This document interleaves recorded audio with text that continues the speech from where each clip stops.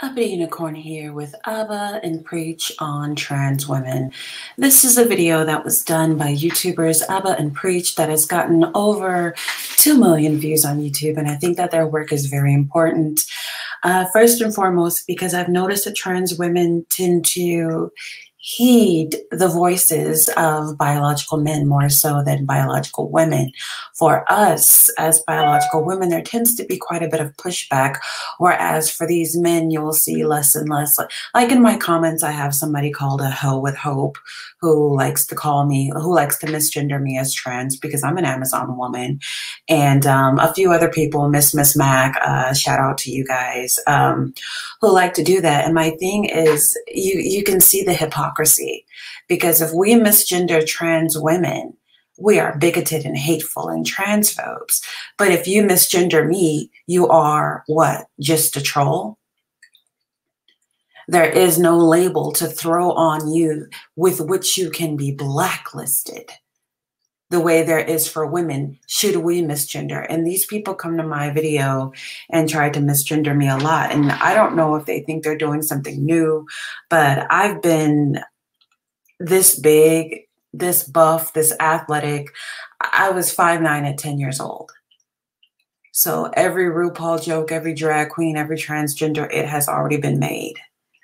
And um like it or not I identify my body structure as um, as an elite form of womanhood. I'm I'm right up there with, if I wanted to train, I'm right up there with the Williams sisters, uh, Serena and Venus Williams, and um, you only prove my point as a feminine African American woman. Why it is so important to push back against people who were saying trans women and biological women are the same. I am a woman, you are a trans woman. And in order to have fairness in sports, we must, hand in hand, carve you out your own lane.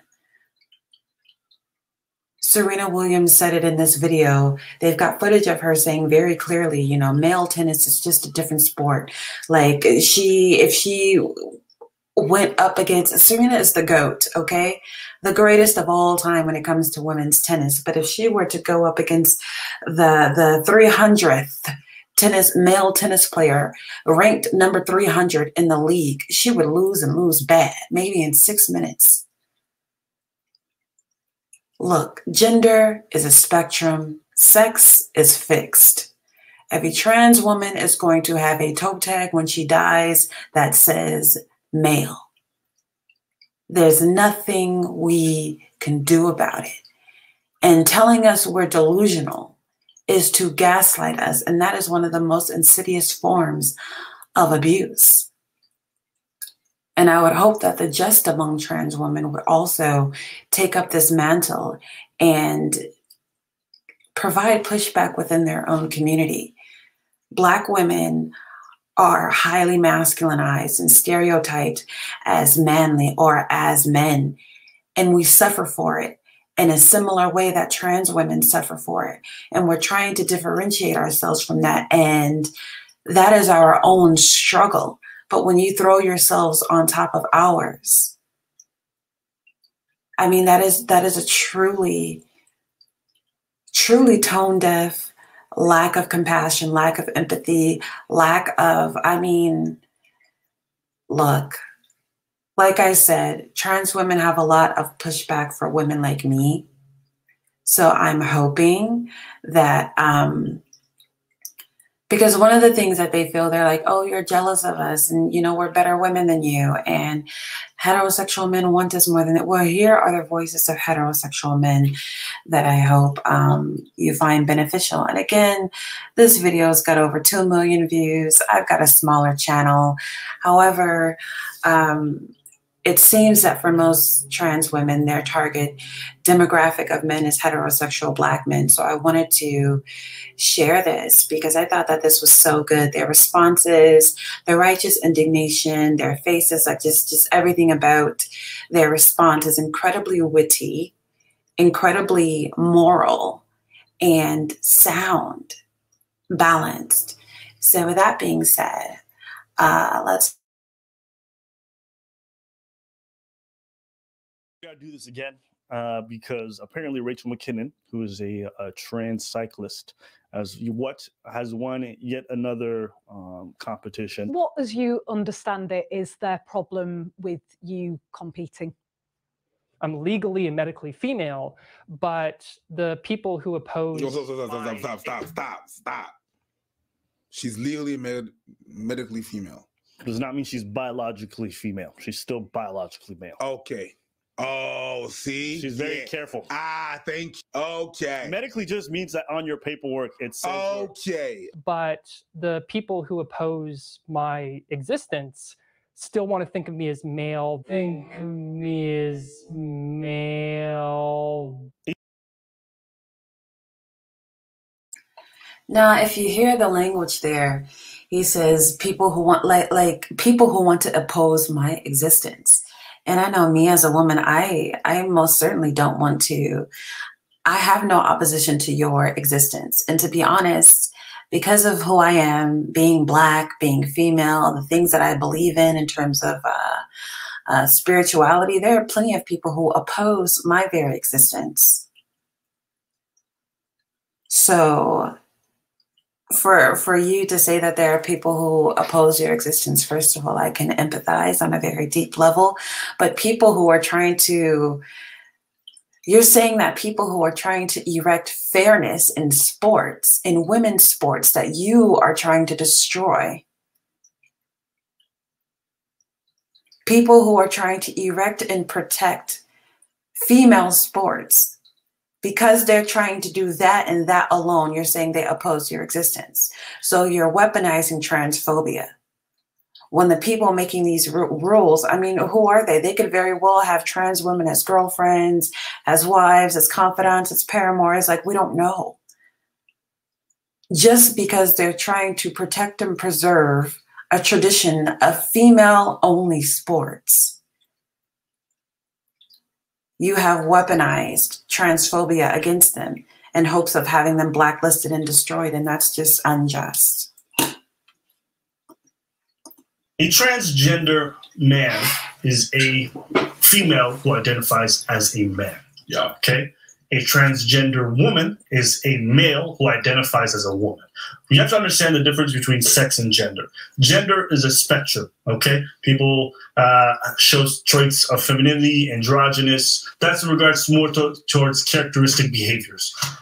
Sex is a matter of biology, and it's about your gonads, it's about your chromosomes. These are things that are generally immutable, meaning you cannot change them. That means that a male, no matter how much they transition, will never become a female. You can't change your chromosomes, you can't change your internal organs. A lot of this stuff aren't mutable. Your femaleness, okay, the fact that you're female isn't based off of any paper or what a legal person says. It's based off your biology.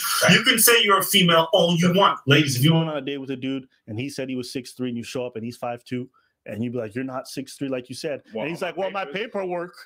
My paperwork says six three. It's a matter of biology. It doesn't matter what the paperwork says. The reality is still the reality. And so there's this stereotype that men are always stronger than women. And so if you think of trans women as men, then you think there's an unfair advantage. Again, very careful with language. There's this idea that all men are stronger than women. Nobody has said that. No. No, again, if I get in the ring with Ronda Rousey, she's gonna have her way with my butt. She will. She's gonna tear into my butt butt. She is. You gonna do what? She's gonna tear into my butt butt. Oh, why you do that? Cause she can. Cause she's stronger than me. Cause she did. What's she gonna have? Ronda Rousey about to get rowdy up in my butt butt. Why are you so happy about that? Some niggas are rowdy rowdy. I'm Ronda Ronda. Uh, I'm pretty sure some motherfuckers are gonna hear that. They're gonna be a, a rousy, a rousy. oh wow! I hate myself for that. So this idea that trans athletes feel, feel like it's fair for them to compete, that there's no biological difference. And so I said, cool. But I also have a question. Why is it always transgender, transgender females who are always winning and breaking these records? Why isn't it men? So here, we have this article from PinkNews that says 10 transgender athletes explain why it's fair to compete. So first up, we have Rachel McKinnon.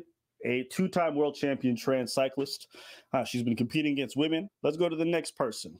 Transgender triathlete Chris Mosier. He is a transgender man, meaning he was born a female, transitioned to man. He has won absolutely nothing. So that's one for women, zero, for men. Transgender fighter, MMA fighter Fallon Fox, who is has a record of six and one, including uh, uh, most of wins by TKO knockouts in the first round. On the other side, we have a transgender man, meaning born a female, transition to man, Pat Manuel, who made history in 2008 when he became the first transgender man to professionally box. What's his record? One and zero. He's only had one fight. Who did he fight? A fighter who was 0 and 7, never won a fight. Laurel Hubbard, who has won a few gold medals and beaten competitions as well as competed in the Commonwealth Games. She's broken records. Of course.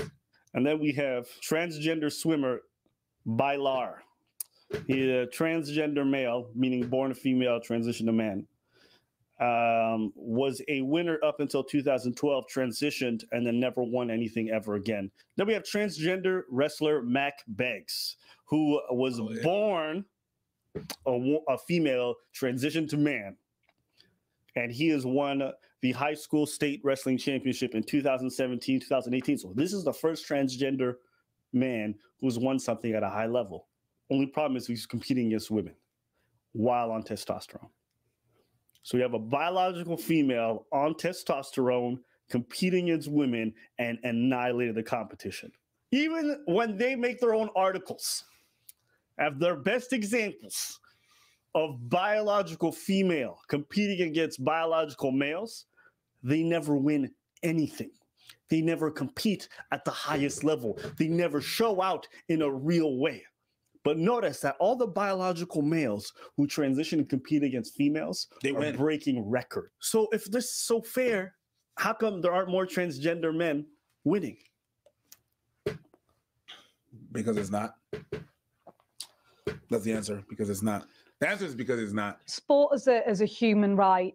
uh, Just explain what that means for for you. we care about the Olympics. We care about sport. It is central to society.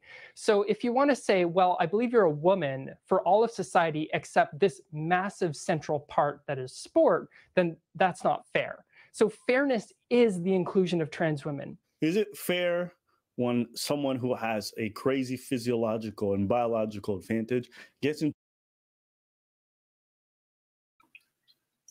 So the thing that struck me there is where the trans um, woman athlete says, "Well, it's not fair to say we believe you're a woman for all of these other aspects of society except for sports."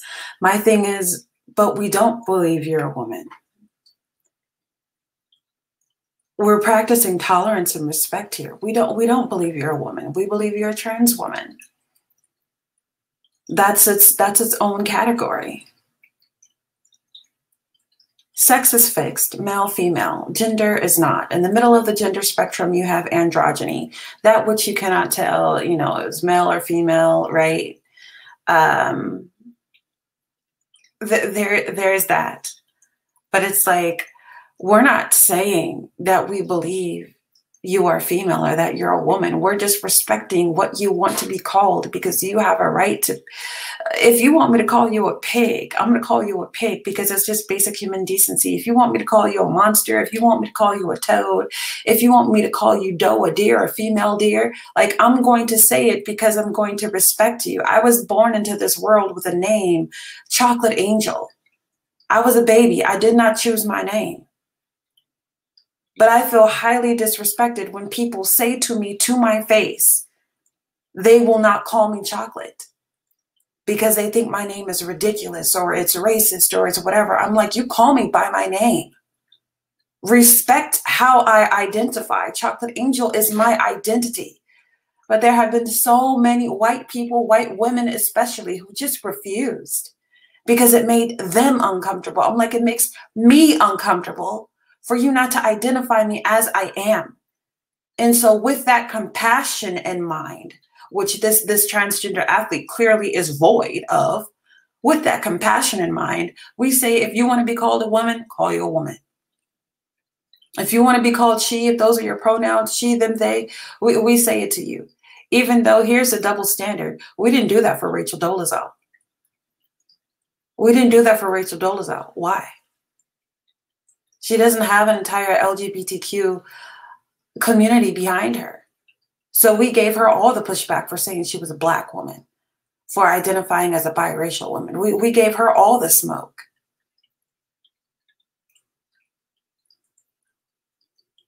The smoke we would probably give you uh, on the same level if it wasn't so that people, oh, oh you're a transphobe, oh, you're a homophobe, oh, you're bigoted, oh, you should, oh, we should blacklist you and you should never have a job again, you should never.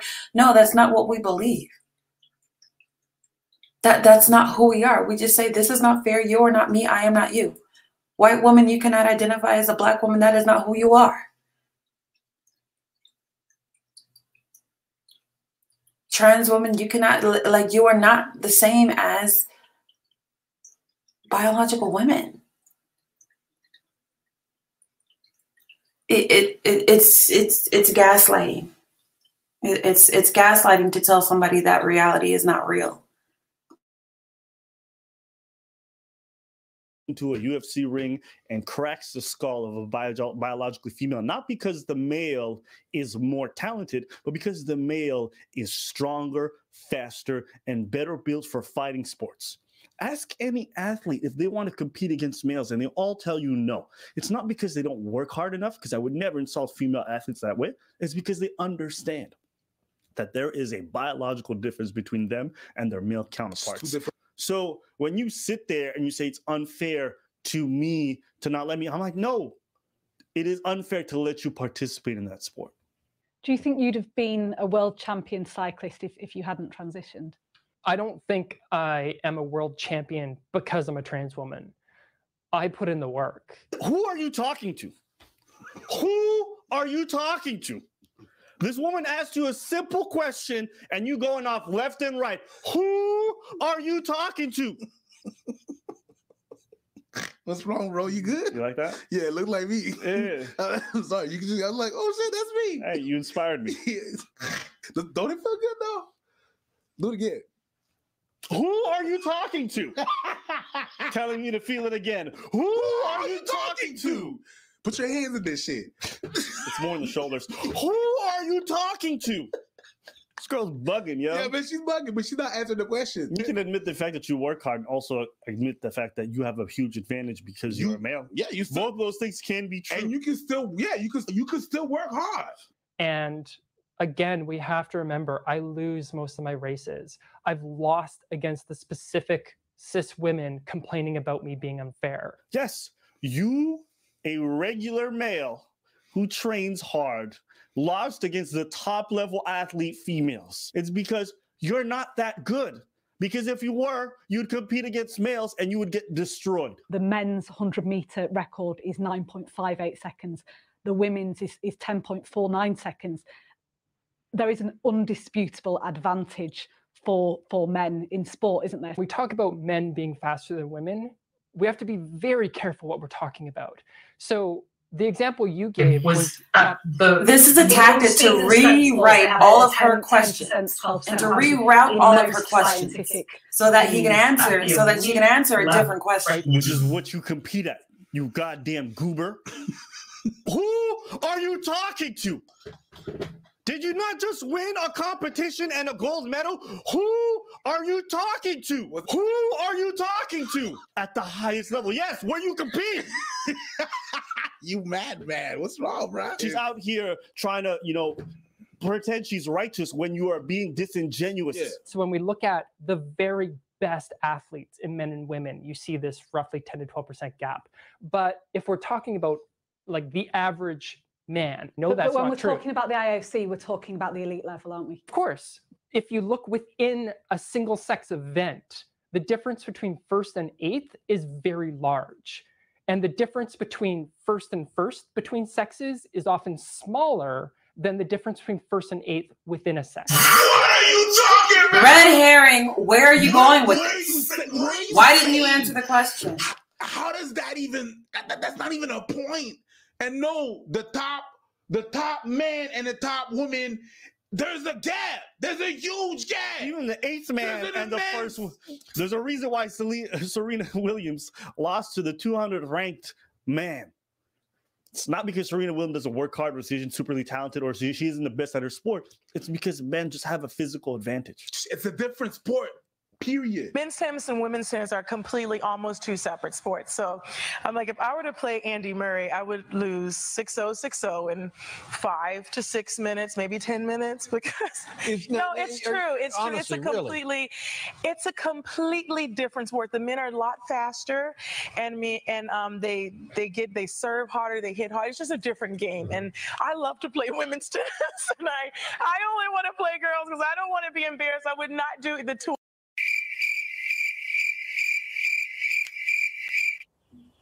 So, so by that logic,